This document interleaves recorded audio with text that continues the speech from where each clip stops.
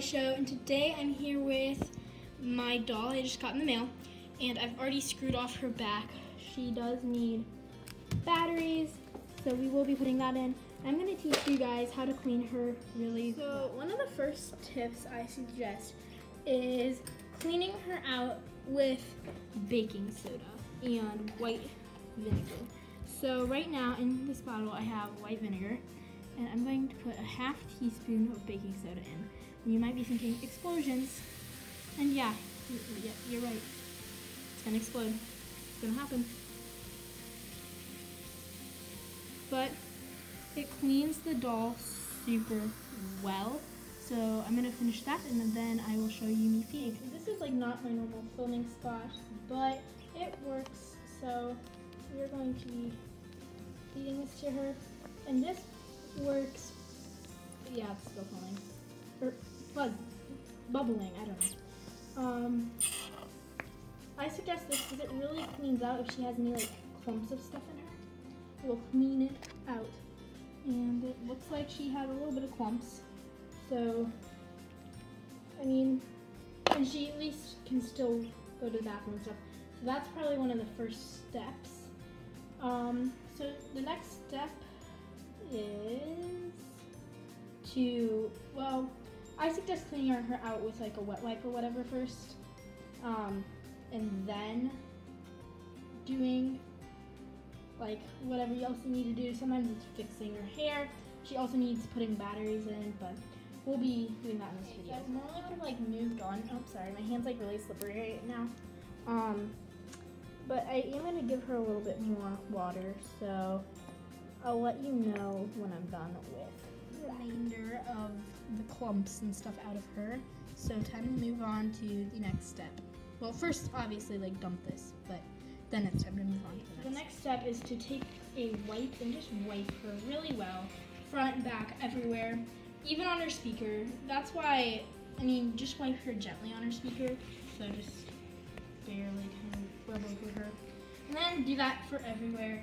And eventually you might need a magic eraser, but I'll let you know if she needs it. So she's pretty clean, but there's a spot. So we're gonna be using magic eraser, and I will get back to you. And there's a couple other spots, so I'll get back to you as soon. As- So at this point, I fixed her up as much as possible. That's the only spot that didn't come off. It's just kind of like a birthmark type thing. Um, so the next step is to put the battery. Two double A batteries right now, and I'm gonna be putting these in, and I will turn you guys on to see if she works. All right, let's try. Mommy, mommy. Well, did I make a stinky? That's good. Um, she works. And anyways, we are now going to move on to the last step, and this is what I'm using to fix her hair with. Um, I don't think I'm gonna be using much shampoo, but just in like uh, their shampoo's not. I'm up here, and I have my shampoo. Well, not just a shampoo. Um, anyways, we're going to be washing your hair, and as soon as it's completely washed, I will get back to you um, for what I do. Right. So we have washed your hair, um, and I'd say it's pretty good. I feel like sometimes with the dolls that have super tangly hair, it's really hard to wash, but hers was pretty easy actually. Um, the shampoo was really easy, you know, to put in. And anyways, we're gonna be doing her hair now. We don't end up needing a little bit of change. I think we're good. So, anyways, we're gonna be we're just gonna be putting it into like a side ponytail. I know that's what the um, Baby Alive company has put it into. Like if you get her new in the box, they have it in a side ponytail. I just thought I'd go ahead and do that as well. So, I mean, it's okay. The bangs need to dry before you can really do much with them. Alright guys, so this is kind of what she's looking like right now. Which I think I did a pretty good job from, as you probably saw from my last video, how the like how it was working last time.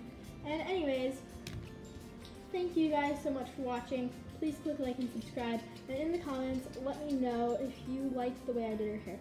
Thanks guys, bye.